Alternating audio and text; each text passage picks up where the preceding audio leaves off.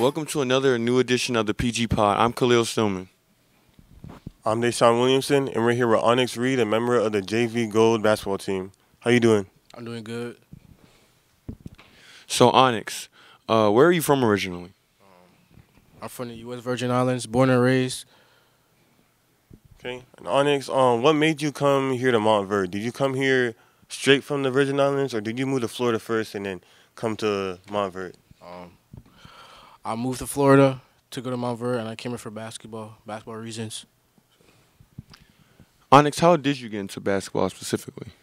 Um, I got into basketball in elementary. I started playing for the school team, and I did like decent. So yeah, that's how I started playing. And Onyx, um, knowing that you've been here for a while, what has been your favorite thing about Montverde? You know, coming here every day. Um, my favorite part of my Mount Verde is the CBD program. You know, everybody's a family, and we're all good. We're friends, and we communicate outside, out, inside, outside of school. So yeah.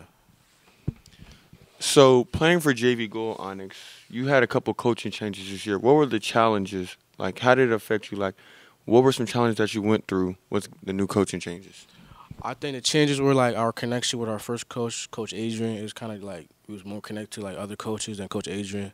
So it was kind of different with like Coach Matt, Joe, and um, Coach Elliott and Coach Shea. And, and yeah, and that's it. Yeah. So speaking on coaches, you know, the CBD program is very like looked highly up to.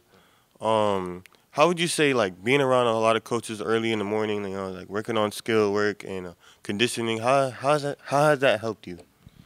Um, it helped me being a better player from last year. I was kind of struggling last year. My shooting and my shots better, and my conditions better. Um, but yeah, I actually like the coaches. A good environment. They they want to make you like learn the game, work on your skill and everything. So yeah. So Onyx, has there been any fond games that you've played? Like any games that you're fond of, where you've had a good game that you remember? Yeah.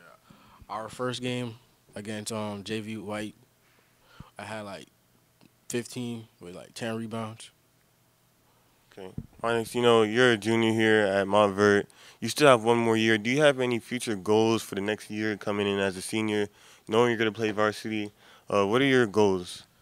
Um, my goals right now is to become a better player and to get offers or just play college ball.